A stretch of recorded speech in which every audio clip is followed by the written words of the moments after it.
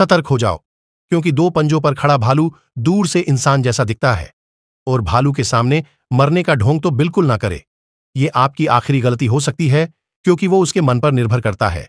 अब अगर आपको कोई नुकीली वस्तु नहीं मिलती है तो कोई चमकीली वस्तु जैसे शीशा या टॉर्च उसकी फ्लैश को भालू की आँखों पर मारे, इससे वो आपके पास आने से डरेगा। और अगर अब भी भालू आपकी ओर बढ़ रहा है तो अब छूतिया की तरह वहाँ खड़े न रहे, अपना बोरिया बिस्तर बांधे और वहाँ से फुट लेने में ही आपकी भलाई है।